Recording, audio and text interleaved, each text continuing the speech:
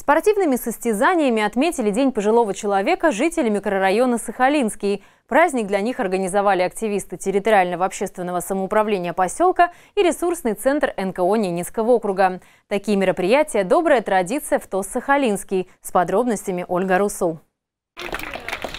Но я передам. ТОС Сахалинский насчитывает порядка 49 дворов. Это более 115 жителей, не считая детей. Валерий Овчинников на сегодняшнем празднике гость. Сейчас мужчина проживает в городе, но родной Сахалин не забывает и регулярно навещает. Как-никак прожил в этом микрорайоне более 50 лет. Ну, я каждый день здесь бываю, мне не, некогда скучать. А у кого бываете? У меня сын здесь, у него ферма, коровы, козы, куры. Сыну помогаете? Конечно, кто же будет помогать дальше? Главное, что старый, что хороший. Он всех тут объединяет, привлекает. Всем хорошо. Жители микрорайона собираются на такие дворовые праздники регулярно. Весело проходит и Пасха, и Новый год. Мы идем с, удовольствием сюда. Нам нравится. У нас постоянно здесь праздники. А что особенно нравится в этих праздниках? Вот, э... Общение с людьми хоть. Также сидим дома, никого не встретишь. А тут встречались, поговорили, по, побаловались, поиграли. Что еще нам надо? Несмотря на то, что праздник приурочили ко Дню пожилого человека, самые активные на нем, как всегда, дети.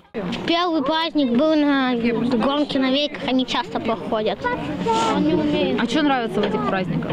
Ну, дядя Сережа все уступает, все такое, игры всякие. Тем временем жители поселка готовятся к спортивным состязаниям. Это своего рода спартакиада внутри ТОСа, организованная ресурсным центром. Ее победители примут участие в спартакиаде среди ТОСов города Нарьинмара, а потом и округа. Соревнования проводятся в рамках президентского гранта 3D «Двор, дом, дети». Хотелось бы, чтобы все-таки постарше люди тоже принимали активное участие в таких мероприятиях. То есть это и есть цель проведения вот спартакиады, чтобы вовлекать людей в спортивную жизнь города.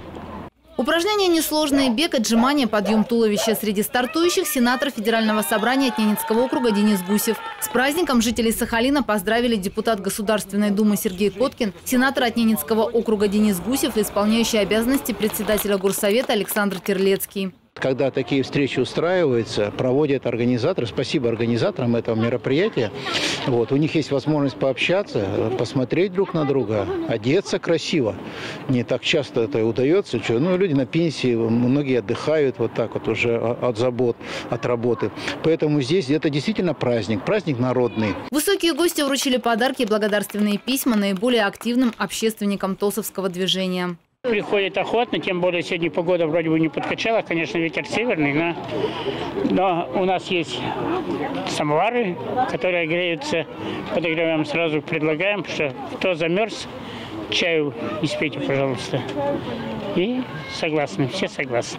Такие праздники – это неразрывная связь поколений, которая напоминает нам о чутком отношении ко всему лучшему, привнесенному в нашу жизнь старшими. Ольга Русул, Вадим Носкин, телеканал «Север».